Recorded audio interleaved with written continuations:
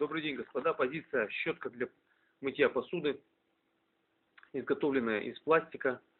А, имеется скребок на обратной стороне щетки, который позволяет легко удалять остатки пищи. Длина 25 сантиметров. Крючок для подвешивания, для удобного хранения. Производство IKEA. Всем удачных продаж!